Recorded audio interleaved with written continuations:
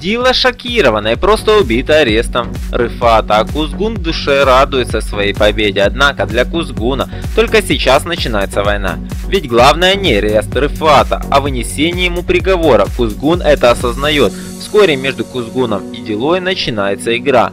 Она пытается спасти отца от тюрьмы, а он посадить его. Подходит день суда. Мирьем видит Рыфата в наручниках и высказывает ему все, что накопилось в душе, а Кузгун подготавливает значимый жест для Кумру и Картала. В это же время Бора пытается выяснить, кто посадил в тюрьму Рыфата. Выяснив имя, он мастерски растопит льды между ним и Дилой и тем самым устранит между ними ту самую дистанцию. Посмотреть очередную восьмую серию турецкого сериала «Ворон» вы сможете после 3 апреля.